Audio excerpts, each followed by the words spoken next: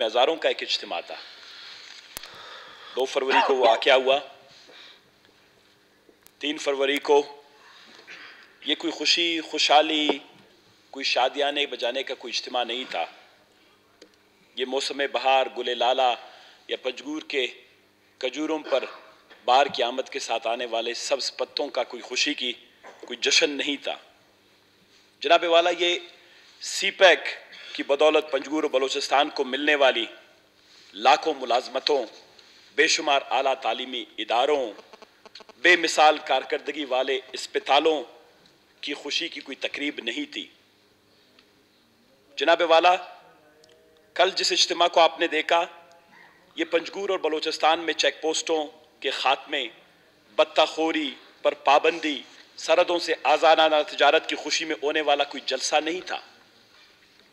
जनाब वाला ये हज़ारों की तादाद में बलूचिस्तान के ग्रेजुएट बच्चे और बच्चियों की वालदेन की कोई तकरीब नहीं थी। जनाब स्पीकर, ये जनाजा था। चौदह मासूम बलोचिस्तानियों का, जो पंजगूर से अपनी जमा पूंजी उठा के निकले थे। या तो वो कराची इलाज मुआवजे की गरज से जा रहे थे, या तालीम की गरज से जा रहे थे, या कोई छोटी मोटी तजारत की गरज से जा रहे थे। ये बलूचिस्तान के सबसे गरीब आल मफलूक आल पंजगूर के शहरी थे। बल्कि जनाब वाला मैं सादे अल्फाज में ये कहूँगा, ये जनाजा था हमारी खराब हुक्मरानी का। जनाब वाला, ये जनाजा था नामनियाद जमहूरियत का, वफाकियत का, इंसाफ का, मसावत का भाईचारे के अलम बरदार इस्लामाबाद की क्यादत का।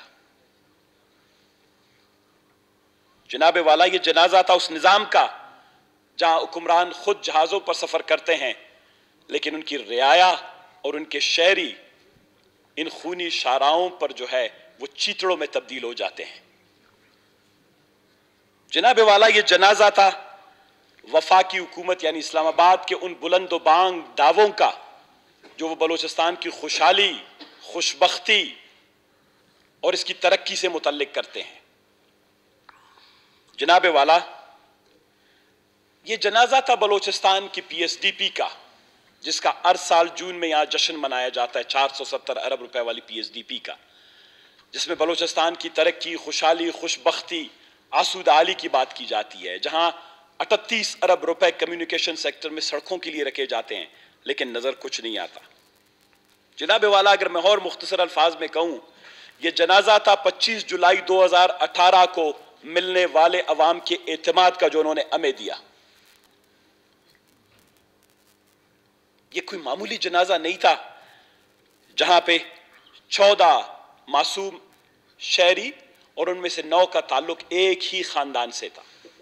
आपने तस्वीरें देखी होंगी उसमें पंजगूर के नौजवान, उसमें बच्चे, उसमें हमारी बापरदा औरतें, उसमें बूढ़े।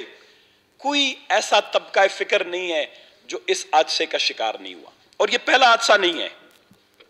जनाब स्पीकर, बलूचिस्तान में यह मेरे पास डेटा पड़ा हुआ है। बलूचिस्तान के अपने जो डीआईजी हैं, हमारे मोटरवे के जकरानी साहब, उनकी अपनी अरब न्यूज़ को दी गया इंटरव्यू है कि बलूचिस्तान के किलर हाईवेज पर या रोड्स पर सालाना छह हज़ार से आठ हज़ार के करीब अफराद लुकम अजल बनते हैं। और क्या मैं आपको क्या बताऊँ, आपको खुद याद होगा कि 19 अक्टूबर 2019 को बलूचिस्तान का सबसे आला अहदे पर फायज हमारा एक नौजवान दोस्त और साथी, तारिक जहरी साहब इसी खूनी शारा की नज़र हुए। जनाबे वाला, उससे कुछ दिन पहले, अगर 6 अक्टूबर 2019 को सानिया जो हुआ था, जिसमें सत्तारा के करीब जनाबे वाला अफराद शहीद हुए। इसके अलावा मेरे ख्याल किला सैफुल्ला वाला वाक्य भी तो आपको याद होगा। यह नहीं है कि खूनी शारा सिर्फ़ ये एक है। पंद्रह के करीब अफराद तेरह दिसंबर 2019 को लुकम अजल बन गए। बलोचिस्तान में कोई ऐसा दिन नहीं गुजरता जहाँ पर ये खूनी शाराहें इंसानों को निगलते हैं। कुछ बड़े वाक्यात हैं जो रिपोर्ट्स हो रहे हैं। कुछ वाक्यात हैं जो रिपोर्ट्स नहीं हो रही हैं। यानी वट से निकलते लोग मोटरसाइकिल पे रोज़ाना बसों का शिकार बनते हैं। साइकिल वाले, गाड़ी वाले, खानदानों के खानदान, कुछ ऐसे वाक्यात हैं जो सोशल मीडिया की अखबार की नज़र नहीं बनते। लेकिन जनाब स्पीकर, ये अमवात का तसलसल, ये मौत का जो, ये राज है, ये मौत का जो जो हमारे ऊपर जो है ताकत है, ये हमेशा से जनाब वाला बलोचिस्तान में चलता आ रहा है। इन शाराओं को हमने मलामत नहीं ठहराना बलोचिस्तान की आबादी जब सब सिर्फ़ 18 लाख थी या 17 लाख थी, अठारह सौ छियानवे में, उस अंग्रेज़ों के मरून मिन्नत काफरों के मरीन मिन्नत उन्होंने बलोचिस्तान में दो से ढाई हज़ार किलोमीटर सड़कें बनाई।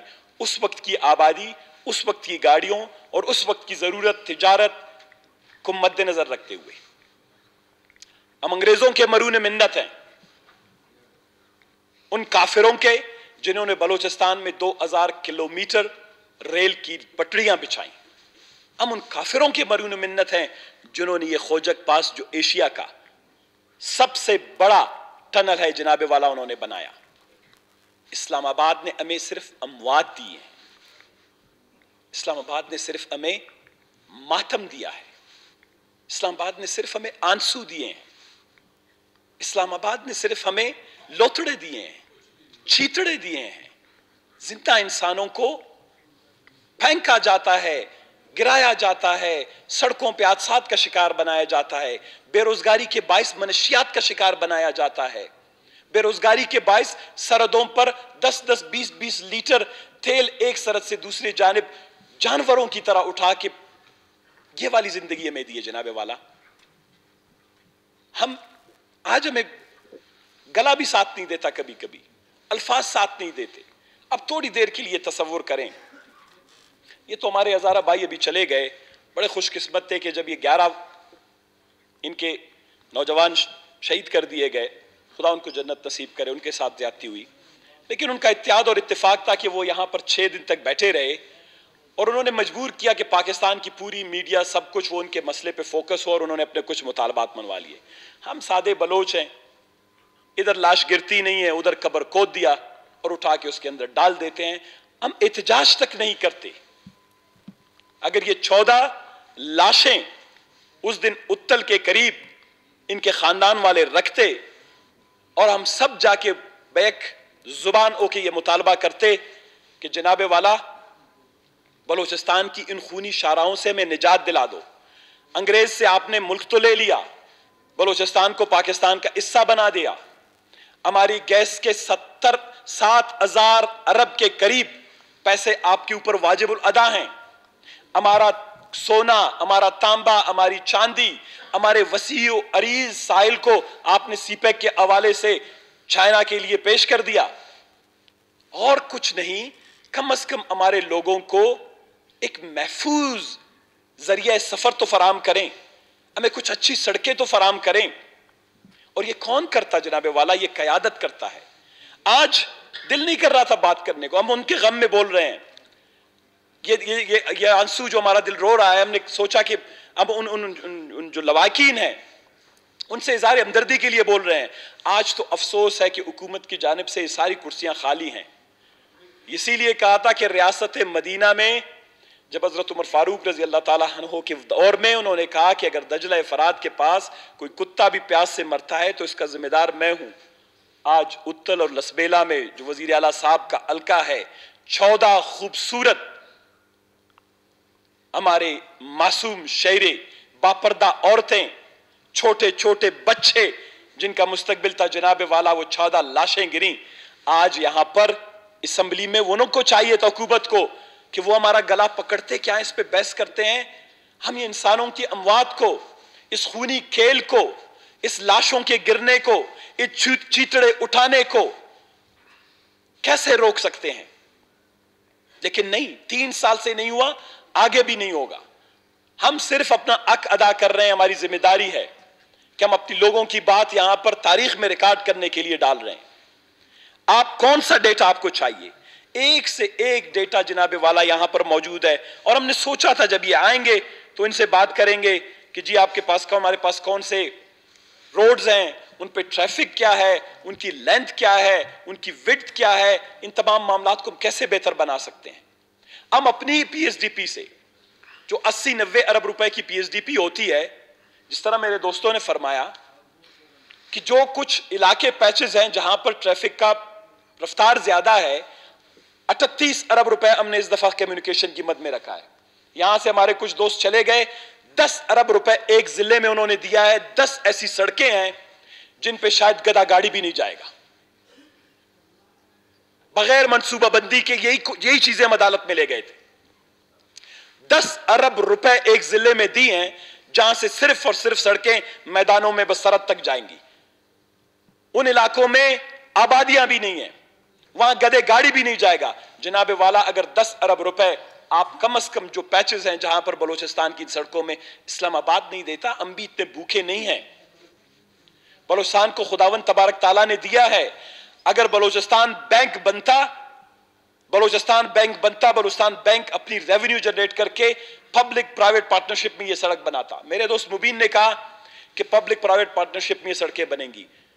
पाँच हज़ार साल तक बलुस्तान में पब्लिक प्राइवेट पार्टनरशिप में सड़कें नहीं बन सकती।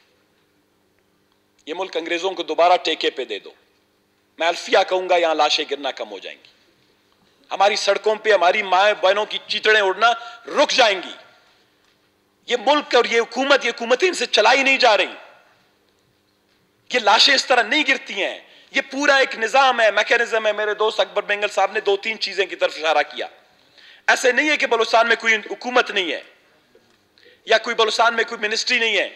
आज मेरे भाई उमर जमाली साहब अभी तक ताजियत पे बैठे हैं, अपने वालिद साहब के शायद आज यहाँ पे नहीं आए हैं। लेकिन कम अज कम मोकबे की तरफ़ से एक बहुत बड़ी ब्रीफिंग आ जानी चाहिए थी, जब आज जावेद साहब ने यह तहरीक इल्तवा पेश किया, कि बलोचिस्तान में वो क्या क्रिटिकल इश्यूज़ हैं जिनकी बुनियाद पर हम इन सड़कों को दुरुस्त कर सकते हैं। हम बसों पर ट्रैकर लगा सकते हैं, हम मुसाफिर गाड़ियों में जो तेल की स्मगलिंग है उसको रोक सकते हैं, जनाबे वाला। हम ड्राइवरों का जो मनशियात के हवाले से मेरे भाई ने ज़िक्र किया, वो कर सकते हैं। हम ट्रेनिंग स्कूल्स, ट्रैफ़िक और ट्रेनिंग स्कूल्स बना सकते हैं, जो है लोगों को ट्रेनिंग कर सकते हैं। हम जो है सब्सिडी दे सकते हैं ट्रांसपोर्ट कंपनियों को कि वो कम से कम मुसाफरों को, अगर उनको अच्छी कीमतें नहीं मिलती, ये बहुत बड़ा इशूज इसके साथ मुंसलिक है। जनाब स्पीकर मैं आपसे ये इल्तजा करता हूँ। हम बार बार बहुत सी चीज़ों पे आपको रूलिंग का कहते हैं। आप अभी तीन से चार महीने के बाद दोबारा पीएचडीपी बनेंगी। बलुस्तान की पीएचडीपी बनेगी, वफाकी हुकूमत की पीएचडीपी बनेगी। मैं खुद गया, मैं एक छोटी सी मिसाल आपको दूँ कि जो खूबकतें बदनीयत होती हैं, उसका असर शहरियों पे पड़ता है। दो साल पहले मैंने अपना खरान और अहमदवाल का रोड, पाकिस्तान असिस्टेंट प्रोग्राम जो है, पैप जिसको कहते हैं जो यूई की गवर्नमेंट का 200 मिलियन डॉलर का है, मैंने उसमें फारान और अहमदवाल का रोड डलवा दिया। जब मौजूदा सूबाई हुकूमत को पता चला कि जनाब वाला अपने ताल्लुक से, जाती ताल्लुक से, कोशिशों से खारान और अहमदवाल का रोड डल गया है, दो साल से जनाब, मैं इसको ज़िक्र ही नहीं कर रहा था। जनाब वाला बजाय कि हुकूमत फैसिलिटेट करता, सूबाई हुकूमत ने पाकिस्तान असिस्टेंट प्रोग्राम के तहत यूई का जो हमारा सड़क था, दो साल से जनाब वाला उसको रोका हुआ है। कि जनाब वाला इसकी ज़रूरत नहीं है, हम आपको कोई और तजवीज दे देंगे। हमारे अजला में मतलब न ट्रांसपोर्ट के लिए, न सड़कों के लिए, मैं तो ये समझता हूँ कि आप स्पीकर हैं। हमने उस वक्त कहा था कि प्री बजट पोस्ट बजट नहीं।